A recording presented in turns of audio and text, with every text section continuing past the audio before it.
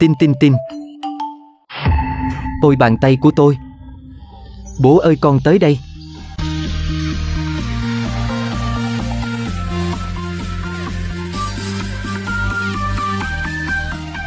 Bố có chuyện gì vậy?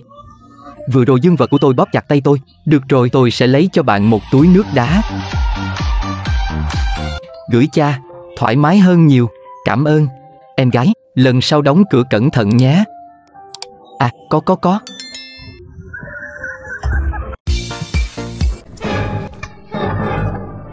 Chị ơi em đến đây. Bồi đôi chân của tôi. Nếu không, tôi vẫn phải cứu em gái mình. Khoan qua hang ở tốc độ tối đa. Tôi đang băng qua e e e. Tại sao nó lại rơi? Hãy bò.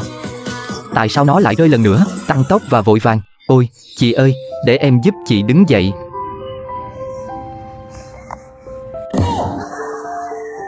Anh em hãy ngửi đi. Anh yêu em, chị ơi. Xem tôi có đánh đòn bạn không? Dừng lại, bạn không thể đánh đòn một đứa trẻ.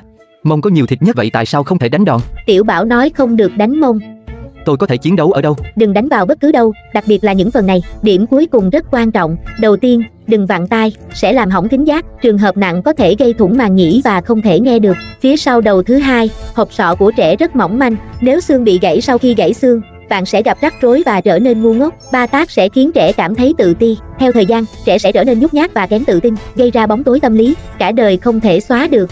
Bốn đánh vào lưng có thể khiến cuộc sống của trẻ bị cong hoặc gãy. Cuối cùng, việc đánh đòn trẻ em là bất hợp pháp. Thức ăn 110. À, Hiện nay có cha mẹ nào đánh đòn con gái không? hôm nay tôi sẽ đi làm sữa mẹ. Chuẩn bị 3 thìa sữa bột. Một bình tưới nhỏ. Một cái thìa nhỏ. Khuôn làm viên sữa. Một cái búa nhỏ. Một chai thủy tinh. Mọi thứ đã sẵn sàng. Hãy bắt đầu làm phim sữa. Xịt một ít nước vào sữa bột. Sau khi phun, khuấy đều. Chỉ cần khuấy nó thành hạt như thế này. Đưa vào khuôn.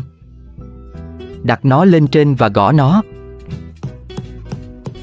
Mẹ ơi giúp con đập nó đi. Mở nó ra và xem nó có thành công không. Có vẻ như đã thành công, các bạn đã xem xong phim sữa rồi. Làm nhiều hơn cho em gái của bạn, cho viên sữa vào chai thủy tinh. Mang cho chị gái ăn.